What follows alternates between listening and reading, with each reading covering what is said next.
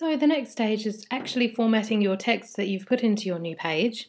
So just to introduce the formatting bar first of all, just on above your body text area where you would have put in your content for the page, you have a number of different styling options up on the bar here. So it's very similar to Microsoft Word. Um, you have uh, similar buttons like bold, italic, strike through, the bullet lists, underline, and you also have the paragraph styling uh, drop down menu, just like you do in Microsoft Word.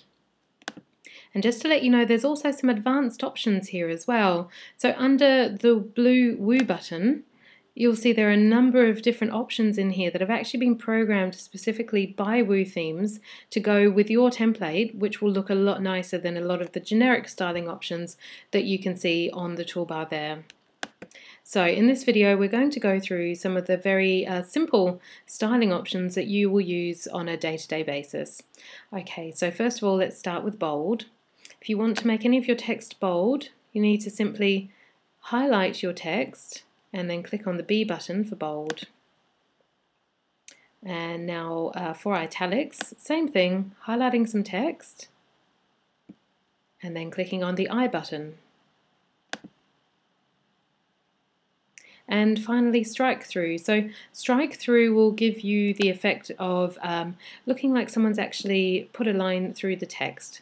So strike through is the button next to the I, which has um, a few letters with a line through and there we have it. So we've got bold, italic, and strike through done. Now the next ones along are the list buttons, so bullet points and uh, number lists. I wouldn't actually recommend using those generic options because you've got one that's been programmed specifically by Woo Themes that's going to look a lot better with your template. Now finally let's go on to the paragraph markings.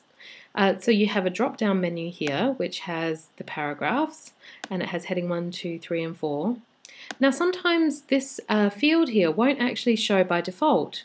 So sometimes when you open up a new page it may actually look like this. You've only got one row of buttons here and to expose the second row you simply need to click the show hide kitchen sink button which looks like a collection of little coloured buttons right there and that gives you your second row of options. Okay, so let's just say you want to add a uh, heading, a subheading to your text.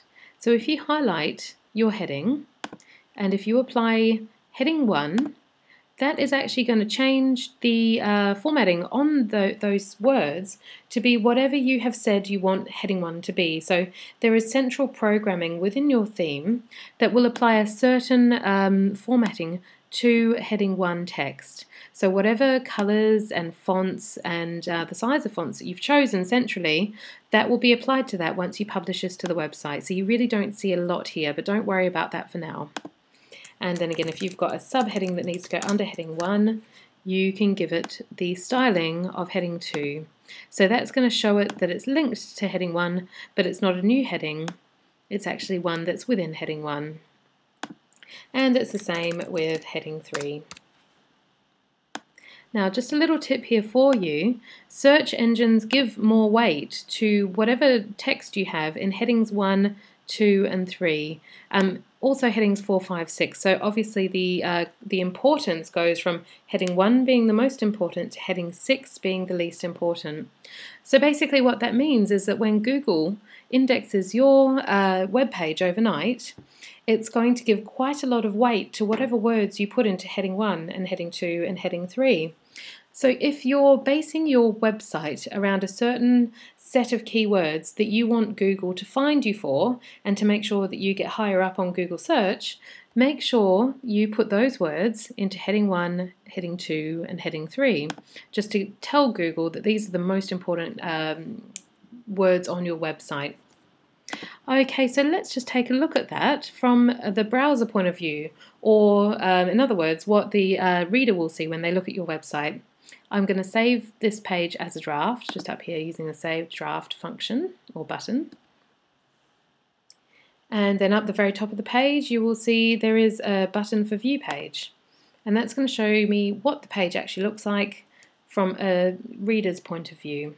Here we go. So as you can see, we've got the bold, we've got the italics, we've got the strike through here. This is heading 1, this is heading 2, and this is heading 3. And there you have it. There is the common formatting functions that you will use within your website.